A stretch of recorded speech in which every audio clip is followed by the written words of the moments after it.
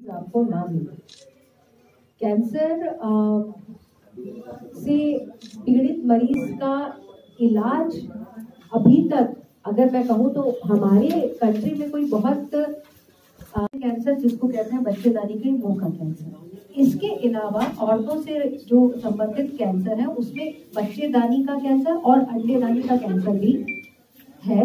लेकिन वो उतना हमारे यहाँ कॉमन नहीं है जितना स्तन का कैंसर और बच्चेदानी के मुँह के घाव का, यानी कि सर्विक्स का कैंसर है। अब इसके लिए ऐसी कौन सी चीज़ है जो आप लोग कर सकती हैं?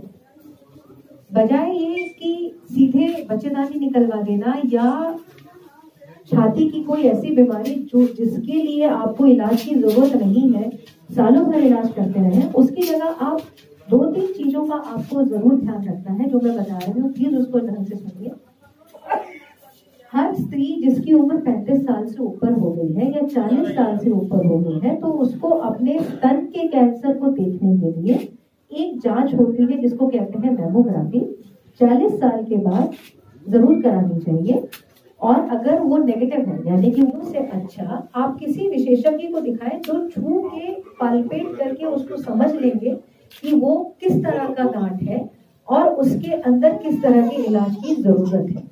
40 साल से ऊपर की हर महिला को अपनी एक मैमोग्राफी बहुत महँगा नहीं होता है। 1500 शायद हज़ार 1500 की होती है। वो ज़रूर करानी चाहिए और अगर वो नॉर्मल है तो दो साल के एक बार करानी चाहिए। किया जाता है और उससे जो है स्तन कैंसर के बारे में पता चलता है।